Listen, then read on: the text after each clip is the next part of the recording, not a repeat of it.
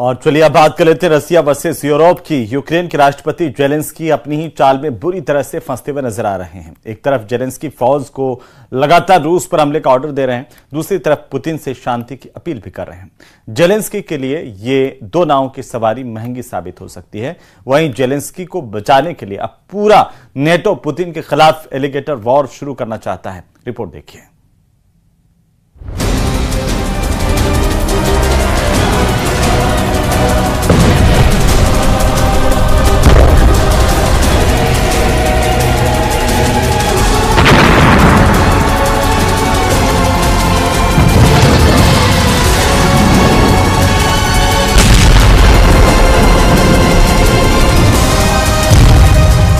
रूस का इलाका। ब्लैक सी और ब्लैक सी में ही रूस की तेल रिफाइनरी तुआब से। यही नहीं, रूस का अजो सी से लगता इलाका।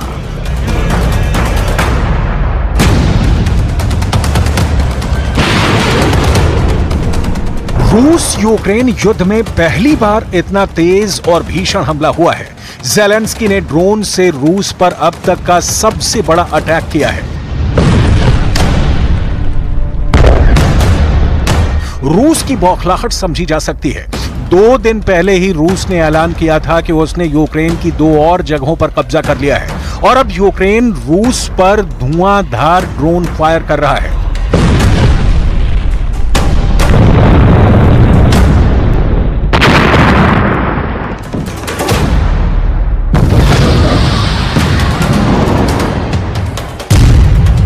रूस पर यूक्रेन ने छोड़े 75 ड्रोन। रूस का 45 ड्रोनों का मार गिराने का दावा। हमले में रूस को कितना नुकसान, इसकी अब तक नहीं है डिटेल जानकारी।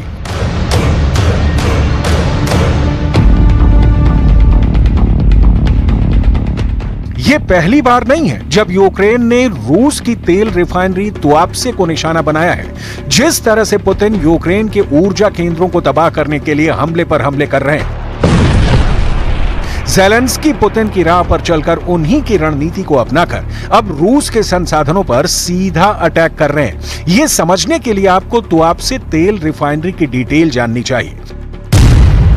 तो आपसे रिफाइनरी की क्षमता रोज़ाना दो लाख चालीस हज़ार बैरल प्रोसेसिंग की है। तो आपसे रिफाइनरी में fuel oil, vacuum gas oil, high sulphur diesel का प्रोडक्शन होता है। 2023 में इस रिफाइनरी ने 9.322 million metric tonne crude oil को प्रोसेस किया। यहाँ से तेल तुर्की, चीन, मलेशिया और सिंगापुर को भेजा जाता है।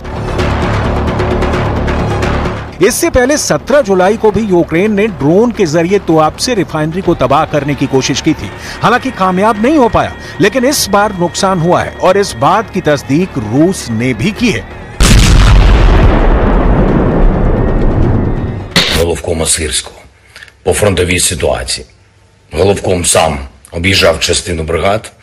Ключове питання це забезпечення наших військових, чого саме не вистачає по кожному напрямку, по всіх наших основних позиціях. Розподіл снарядів та достатня кількість, передусім, дронів.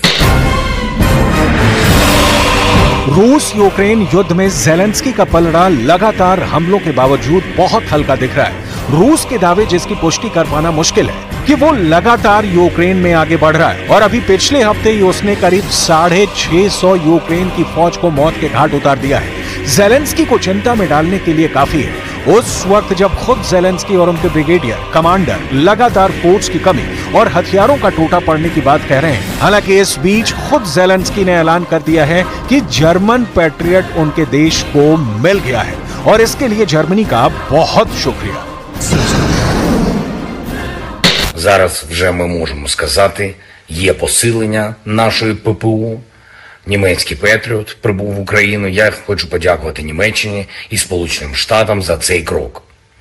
В небі ми зможемо зробити набагато більше. Звичайно, попереду ще багато роботи, і це ще далеко не гарантований захист, але тим не менше більше сили для України. कितना दम है इस जर्मन पैट्रियट सिस्टम में क्या रूस के पास इस जर्मन पैट्रियट का तोड़ तैयार है? जर्मन पैट्रियट से जेलेंस्की पुतिन की फौज को कितना नुकसान पहुँचा पाएँगे? या जर्मन पैट्रियट से रूस में होने वाले हमलों को जेलेंस्की कितना रोक पाएँगे?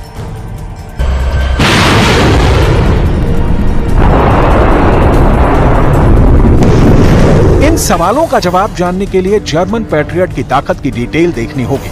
क्योंकि ये बिल्कुल नया नहीं है। अमेरिका से पेट्रियट डिफेंस सिस्टम जेलेंस्की को पहले ही हासिल हो चुका है और रूस के हमलों ने बार बार साबित किया है कि इसमें ऐसी कोई बात नहीं कि पुतिन की फौज को रोक सके। पेट्रियट मिसाइल सिस्टम अमेरिका का बनाया एयर डिफेंस प्रोडक्ट है। जर्मनी ने इसे अमेरिका से ही खरीदा था और अब इसकी एक यूनिट यूक्रेन को सौंपी है। कैसे काम करता है Patriot defence system? Patriot surface to air guided missile system है। पैट्रियट मिसाइलों को ज़मीन पर स्थित पैट्रियट मिसाइल बैटरियों से लॉन्च किया जाता है। इस सिस्टम को चलाने में लगभग 90 सैनिकों की ज़रूरत पड़ती है। एक पैट्रियट बैटरी में मुख्य रूप से पाँच चीज़ें शामिल होती हैं। एक ट्रक माउंटेड लॉन्चिंग सिस्टम आठ लॉन्चर जिनमें चार चार मिसाइल इंटरसेप्टर हो सकते हैं। Ground radar unit control station generator और एंटीना अब समझते हैं कि ये कैसे काम करता है। सबसे पहले रेडार आसमान में खतरे को डिटेक्ट करेगा। ये जानकारी आगे कंट्रोल स्टेशन जाती है। कंट्रोल स्टेशन दुश्मन एयरक्राफ्ट को ट्रैक करके उसकी जानकारी मिसाइल लॉन्चर को भेजता है। 10 सेकंड के अंदर ही पैट्रियट सिस्टम मिसाइल को रेडी करके दुश्मन एयरक्राफ्ट पर छोड़ देता है। लॉन्चर में अधिकतम 16 मिसाइलें होती हैं। इसमें दो तरह की मिसाइलें इस्तेमाल होती हैं, पैक टू और पैक थ्री। पैक टू ऐसी मिसाइलें हैं जो आते हुए एयरक्राफ्ट के पास जाकर फट जाती हैं। वहीं पैक थ्री को इस तरह डिज़ाइन किया गया है जिससे वो खतरे को इंटरसेप्ट करके उन्हें नष्ट कर देता है। इस तकनीक को हिट टू किल कहा जाता है। जर्मनी नहीं, फ्रांस, ब्रिटेन, स्विट्जरलैंड, इटली या रूस के पड़ोसी देश जैसे लिथुआनिया, लातविया, एस्टोनिया और स्कैंडेनेवियन देश, नॉर्वे स्वीडन, फिनलैंड जैसे यूरोप के देश असल में पुतिन के खिलाफ गोलबंदी में शामिल हैं। ये सारे देश रूस से फरियाने के लिए अपने अपने स्तर पर तैयारियों में जुटे हैं And let nothing about the end of this war be decided without Ukraine. America के नेतृत्व में ये देश नेटो जैसे सैनिक संगठन का हिस्सा है। कई देश के एक्सपर्ट तो ये मानकर चल रहे हैं कि यूक्रेन युद्ध का अंत यूरोप बनाम रूस की लड़ाई से निकले नतीजे में ही होना है। कई एक्सपर्ट का मानना है कि 2029 वो वर्ष होगा जब यूरोप से रूस सीधा टकराएगा। लिहाजा इन देशों में से कई ने अपने यहाँ मिलिट्री सर्विस अनिवार्य कर दी है। असल में यूक्रेन अकेले लड़ रहा होता तो पुतिन कब का कीव फतह कर चुके होते? ये यूरोप है, उसका यूरो है। हथियार, जिसके दम पर जेलेंस्की पुतिन से लोहा ले रहे हैं। ये बात एकदम क्लियर है। इसलिए पुतिन भी कई बार यूरोपीय देशों को यूक्रेन की मदद नहीं करने को कह चुके हैं। धमकी और चलिए, अब बहुत महत्वपूर्ण खबर है कि अगर आप भी अपनी आँखों में कांटेक्ट